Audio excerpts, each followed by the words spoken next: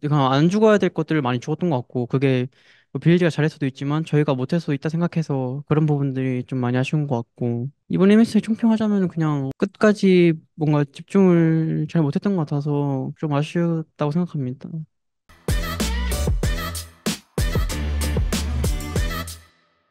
어, 안녕하세요. 저는 페루에서 콘텐츠 크리에이터로 활동하는 루시입니다. 아쉽게도 이번 MSI 여정은 여기서 마무리되었는데요. 이번 MSI 자체가 T1이 현재 그 로스터로 우승하지 못한 유일한 대회입니다. 이번 MSI 전반적으로 돌아봤을 때 어떠신지, 그리고 좀 두고 가는 후회 같은 게 있을까요?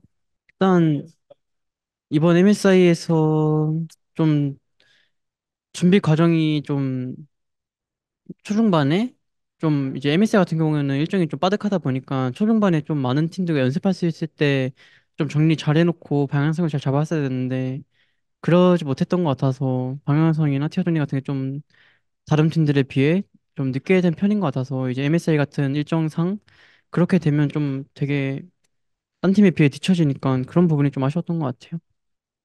어, 비록 아쉽게도 이번 MSI 여기서 탈락하게 되었지만 이번 MSI 자체는 T1이 또 값진 경험을 많이 하고 간다고 생각합니다. 또 이번 MSI 여정을 많은 베트남 팬분들이 큰 응원과 사랑을 보내주면서 지켜봐 왔는데 어, 이런 베트남 팬분들께 전하고 싶은 말씀이 있으신지 그리고 T1의 서머 시즌 목표가 있다면 무엇인가요?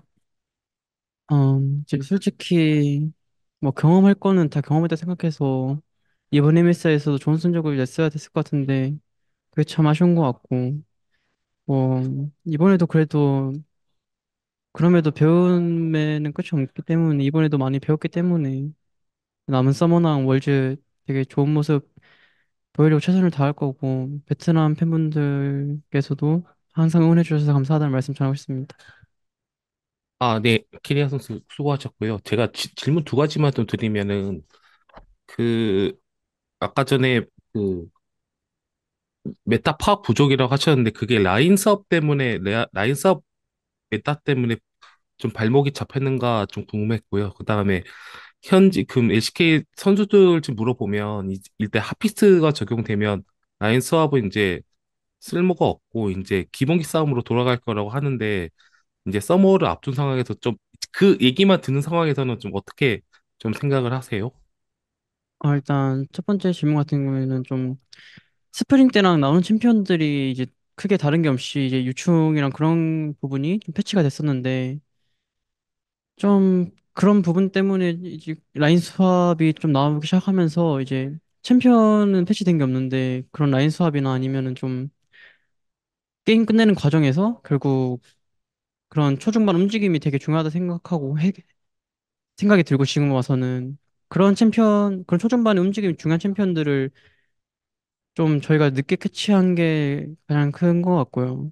그리고 뭐 두 번째 질문 같은 경우는 제가 아직 본서 패치 노트 같은 걸 아직 MSI에 집중하느라 안 봐가지고 아예 잘 모르겠어요.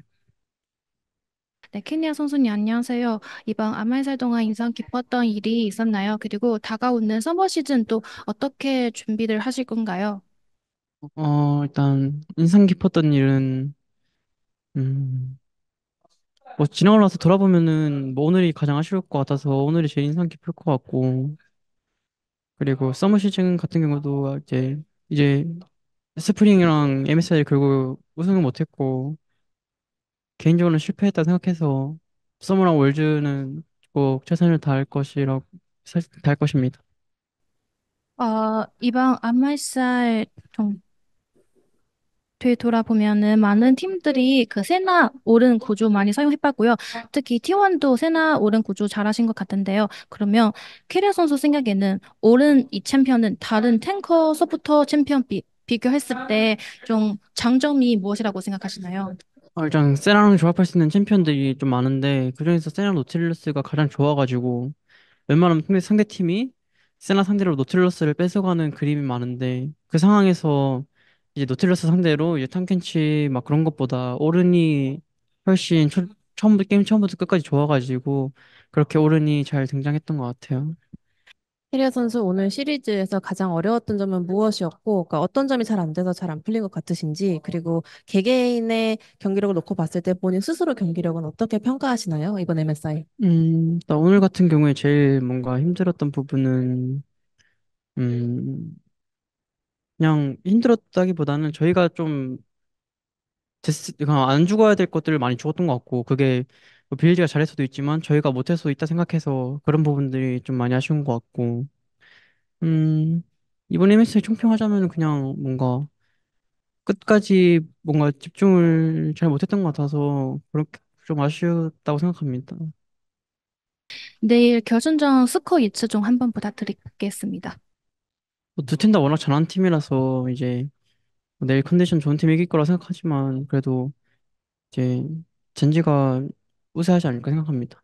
그럼 스코어 예측은 음, 음, 그거는 어, 어, 뭐 제가 감히 예측할 수 없을 것 같습니다. All right, that's all the time we have. Thank you. 땡큐. 고맙습니다.